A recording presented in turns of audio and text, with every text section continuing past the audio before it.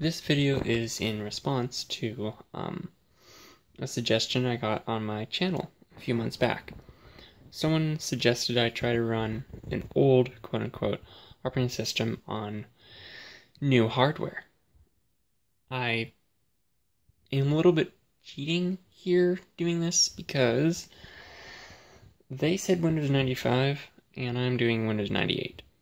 I tried Windows 95 and it didn't work. I know there are workarounds, but I don't feel like sideloading drivers and patching the kernel right now. So I went the easy route and did Windows 98. The computer which I chose as the victim is the Compaq uh, Compaq CQ 2009F, which some of you may remember from a prior video that I declared it to be the worst computer I'd ever used.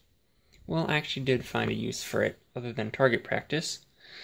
Um, it is doing that challenge, which this is as close as I have gotten. Move that out of the way. So, what works and what doesn't? Um, pretty much every single thing doesn't work. I'm only able to do um, 16 color or 2 color at 640 by 480.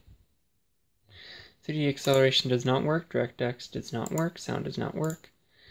Uh, what do we have, what do we not have? So, this is everything that is not installed.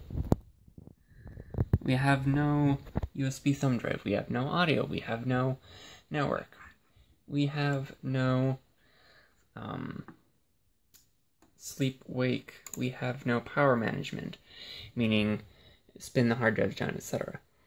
Um, we do not have audio, like I said. We do have the modem that's, that's enabled because it's, um, it is a Realtek chip, I believe. Um, we do have it. It's re- It's actually registering the SATA as IDE, which is which is interesting. Um, the DVD drive is actually recognized. Um, monitor, I set it to a VGA panel 1024 by I, I set it to a VGA panel of 1280 by 1024. Um, the mouse is USB wireless, but it is registered as a PS2. Uh, the keyboard, again, wireless, but it's registered as an HID compliant. Besides that, nothing really works. Nothing really runs. And if we go to properties, it doesn't even register the RAM. Actually, it does it says it's 1014 as opposed to 1024. And the Atom, Intel Atom, is saying it's an x86 Family 6 model, model 12, stepping 2. What does this mean? Well, it registers it as an Intel CPU. Project-wise, I would say this is a failure, because this system is not usable at all.